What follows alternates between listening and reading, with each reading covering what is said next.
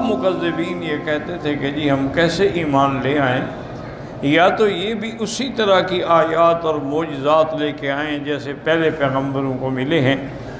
जैसे कि हज़रत सलाम ने ऊँटनी का पत्थर के एक पहाड़ से निकाली थी, ये भी निकाल के हमें दिखाएँ।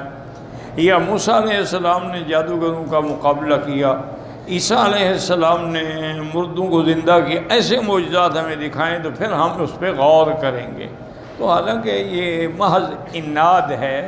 अल्लाह ने हुजूर को तो ऐसे मोजात ता फरमाए हैं जो किसी पैगंबर को भी नहीं मिले। अब देखो ना कि ऊँटनी पत्थर से पैदा हो गई अल्लाह के हुक्म से। हजूर के लिए तो कनकरियों ने कलमा पढ़ा। हजूर सल्लल्लाहु अलैहि वसल्लम के लिए तो पत्थर ने सलाम कहा। इसी मक्के में के हजर नाम की एक गली थी। अब तो नहीं रही। अब तो हरम इतना बढ़ गया है ना सारी बाज़ार ही हरम में आ गई है। जब आप मरवा से जाते थे ना, छती हुई बाज़ार होती थी। तो उससे थोड़ा आगे जाके दाएँ मुड़े तो बीवी खदीजा रज़ी अल्लाह का घर भी वहीं था और उसको कहते थे जुगागे हजर पत्थर वाली गली।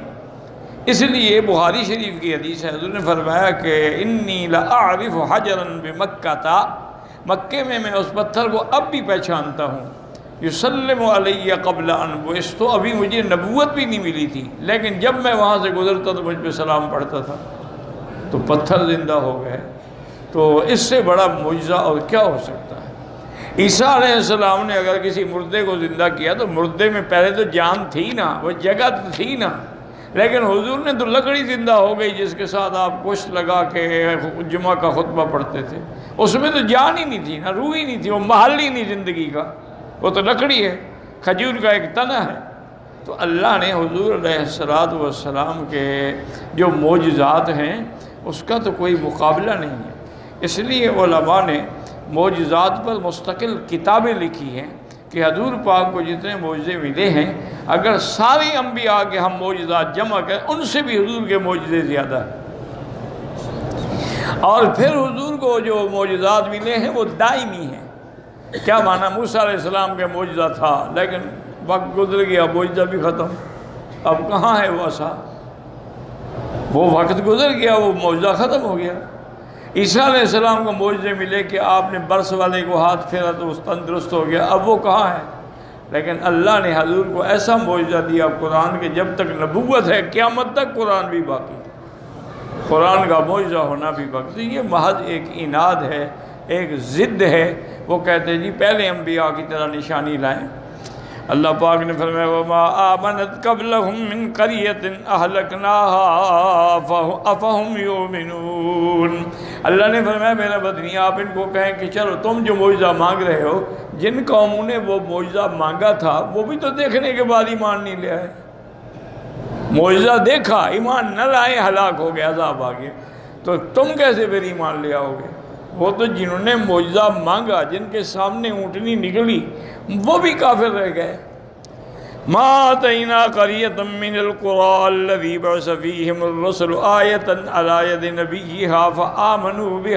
कज़बू हमने जितने पैगंबर भेजे, उनको मोजात फरमाए, लेकिन ईमान न लाए, लोगों ने बल्कि तकजीब की। नतीजा क्या निकला? फ़ालक ना हम बेजालिक उनकी तकजीब की वजह से हमने उन कौमों को हलाक कर दिया। कौम आद देखें, कौम सबूत देखें।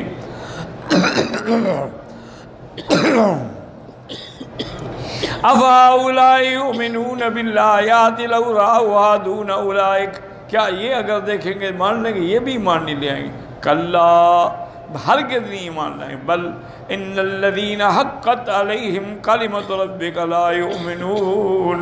अल्लाह ने जिनके बारे में फ़ैसला कर दिया है, वो कभी ईमान नहीं ले आएँगे।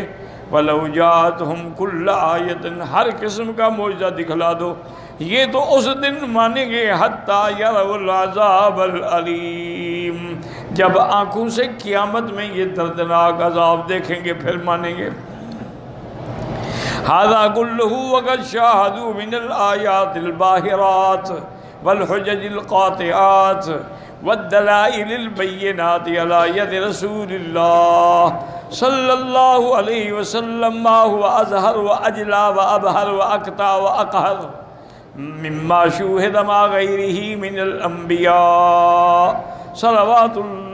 सलामुहु अलैहिम अल्लाह ने फरमाया, मेरा, मैं ये तमाम निशानियाँ, खुली निशानियाँ, हुजज वाजहात दलाइल खुले हुए सब देख चुके हैं। हजूर सल्लल्लाहु अलैहि वसल्लम के हाथों पे वो मोजे देखे जो पहले मोजों से ज़्यादा ज़ाहिर, ज़्यादा रोशन, ज़्यादा चमली चमकीले, लेकिन फिर भी ये ईमान नहीं रहेंगे क्योंकि इन पर मोहर लग चुकी है। ख़त्म अल्लाहलूबिम हम मस्जिद में थे, हज़रत अबू बकर रदी अल्लाह भी हमारे साथ थे और वो कुरान की आयात पढ़ रहे थे। और दो, इतनी देर में अब्दुल्ला अपने अभी सुबई या सलूल जो है, ये रईसलमुनाफ़िकीन ये आया तो उसके साथ अपना गदेला भी था बिछाने का और टेक लगाने का सिलाना भी था। आगे उसने बिछाया तो टेक लगा के बैठ गया। वो आदमी इसमें कोई शक नहीं कि बहुत बड़ा फसीह भी था और बड़ा मुनाजिर किस्म का आदमी भी था, झगड़ालू भी था। वो कहने लगा कि आप ऐसा करें कि हजूर पाक से कहें कि वो जैसे पहले अम्बिया को किताबें और मुझे मिले, वो क्यों नहीं दिखाते हमें? कि अल्लाह पाक ने मूसम को तौरात की तख्तियाँ ता फरमाई, दाऊद को ज़बूर ता फरमाई साम को ऊँटनी का मुआजा ता फरमाया। ईसा को इंजील ता फरमाया और मायदा आसमान से नादिल फरमाया। अब हज़रत अबू बकर ने उसकी बातें सुनी तो आप रोने लग गए और कहा, हज़रत अबू बकर ने कि चलो हुजूर की खिदमत में जाके इस मुनाफिक के बारे में बात कहते हैं। फ़काल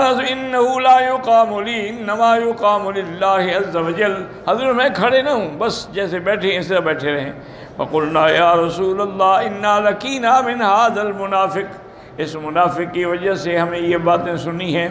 फ़काल रसूल इन जबरीला काल अली उखरज फ़खबर बिनदी अन्ना बेहालिक अल्लाह ने जबरील भेजा, उसने मुझे ख़बर दी, मैं इसलिए घर से आया और कहा कि इनको बताएँ कि अल्लाह ने मुझे क्या क्या नेमतें अता फरमाई हैं। आपने फरमाया वजीरत लती फजल तबिहा वबशरनी वशरनी अन्नी वो इस तो इलहमर वल्लसवद। हज़रत जबरील ने कहा कि मेरा मदनी आप तो इन सो जिन सब के लिए भेजे गए हैं। पहले अम्बिया तो सिर्फ़ कौमों के लिए भेजे जाते थे, इलाके के लिए भेजे जाते थे। वह अमरनी जिन, अल्लाह ने मुझे हुक्म दिया कि मैं जिन्नों को भी जाके खिताब करूँ और दावत दूँ और उनको भी जहन्नम के अजाब से डराऊँ। वातानी किताब हुआ अन उम्मी। अल्लाह ने उम्मी होने के बावजूद मुझे कुरान अता फरमाया वफ़र जम्बी मात कदम मात अखर और अल्लाह ने मुझे ये भी खुशखबरी दी कि नबूत से पहले या बाद में अगर आपसे कोई तर्क अवला हुआ है, वो भी हमने आपको माफ़ कर दिया है। वज़र इसमी फ़िल्लाजान अल्लाह ने हुक्म दिया कि मेरा नाम अजान में भी दिया जाए। वह अमदनी बिलमलाइका अल्लाह ने फ़रिश्तों के साथ मेरी मदद की। व आतानी नसर, के बदल वाले मकाम पे अल्लाह ने मेरी मदद में फ़रिश्ते उतारे और अल्लाह ने मुझे कामयाब फरमाया। वजह रोबा मामी और अल्लाह ने मेरे दुश्मनों के सीने में मेरा रोब डाल दिया कि मेरे जाने से पहले काफिर कांपते हैं। वह आता नहीं अलकौसर अल्लाह ने मुझे हौज कौसर भी अता फरमाई, वजाल हौजी बिन आज़म आदि उमल कियामा। और क़्यामत वाले दिन मेरा हौज जो है वो सब पैगम्बरों के हौज से बड़ा होगा। वबादनी मकाम महमूद। अल्लाह ने मेरे साथ वादा किया है कि मकाम महमूद जो जन्नत में सबसे ऊँचा दर्जा है, वो भी मुझे मिलेगा। वन्ना सुमहती ऊन मुकन और लोग जो हैं वो गदरें डाले हुए खड़े होंगे।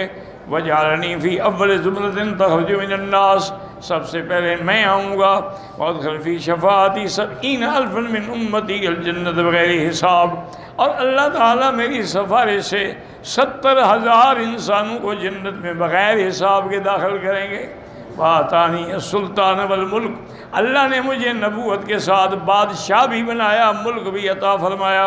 वजालनी फ़ी आला गुरफतिन फिल जन्नत फ़ी जन्नतनईम अल्लाह ने जन्नत में मुझे सबसे ऊँचे से ऊँचा मकाम अता फरमाया भले सफ़ोगी अहदमलाइका अल्लदीन यामिरून लर्श मेरा मकाम जो है जन्नत में मुझसे ऊँचा किसी का मकाम नहीं है मुझसे ऊँचे सिर्फ़ वो फरिश्ते हैं जिन्होंने अल्लाह का अर्श उठाया हुआ है वली वली उम्मती अलगनाइम अल्लाह ने मुझे और मेरी उम्मत के लिए माल गनीमत हलाल किया।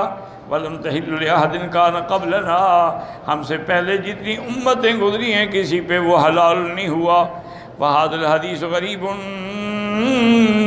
जिद्दा। इसमें कोई शक नहीं है कि रिवायत जो है गरीब है, लेकिन जो चीज़ें उसमें ज़िक्र हुई हैं, वो दूसरी हदीसों से साबित हैं, सही हदीसों से साबित हैं।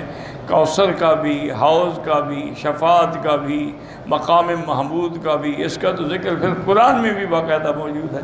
तो फिर इसलिए हमेशा याद रखें कि अगर किसी हदीस में गराबत पाई जाए, लेकिन तइद असल में कुरान में और सही हदीसों में मौजूद हो तो फिर ठीक हो, काबिल एतराज़ नहीं होती। तो अल्लाह पाक ने तो हजूर को इतना बड़ा मकाम और इतना बड़ा शान फरमाया अल्लाह अमितना फ़ी ज़ुमरत ही व उम्मत ही वर्जुकना शफ़ात हो यौमल क़ियामा।